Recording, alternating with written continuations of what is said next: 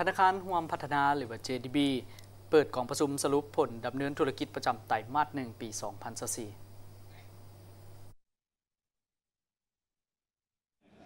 ในอาทิตย์ที่ผ่านมา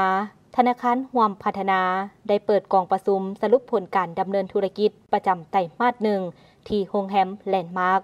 ภายใต้การเป็นประธานกองประชุมของทานเอกพันธ์ภาพิทักษ์ประธานผู้ถือหุ้น ธนาคารห่วมพัฒนา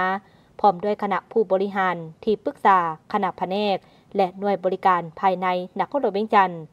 นอกจากนี้ยังมีบรรดาหน่วยบริการต่างแขวง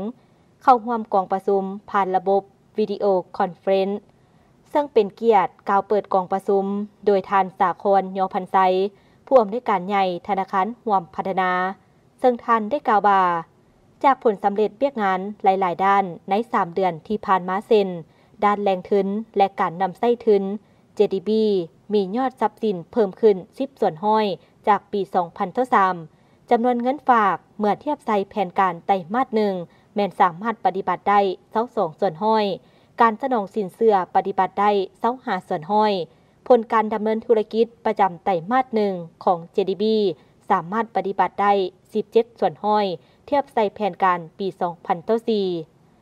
นอกจากนี้ ธนาคารหวมพัฒนายังได้สำเร็จการพัฒนาบริการใหม่ ขึ้นในแอป JDB Yes Mobile Banking เพื่อเพิ่มความสะดวกสบายในการเฮ็ดธุรกรรมการเงินให้แก่ลูกค้า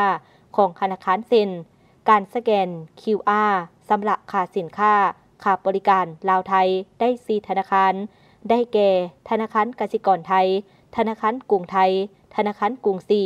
และธนาคารกรุงเทพ และยังได้สำเร็จการพัฒนาบริการจองปี้ยนต์ลาวแอร์ไลน์ทั้งสายการบินภายในและต่างประเทศ นอกจากนี้ JDB ยังสุ่มใส่การพัฒนาบริการและผลิตภัณฑ์ใหม่ ๆ ที่จะเปิดให้บริการในเวไบนี้ เพื่อให้ลูกค้าได้สมใส่ JDB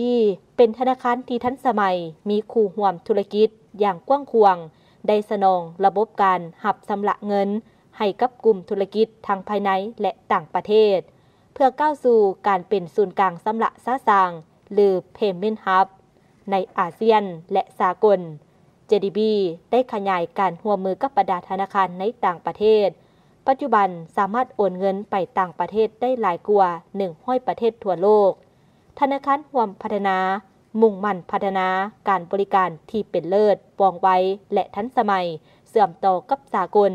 ถือเอาความต้องการของลูกค้าเป็นหลัก พัฒนาผลิตภัณฑ์ทั้งการเงินใหม่ อย่างสม่ำเสมอ ด้วยระบบเทคโนโลยีที่ทันสมัย ประสานกับการบริการที่โดดเด่นของพนักงาน สร้างผลประโยชน์สูงสุดให้กับทุกฝ่าย เป็นส่วนสำคัญในการพัฒนาประเทศชาติให้เจริญรุ่งเรือง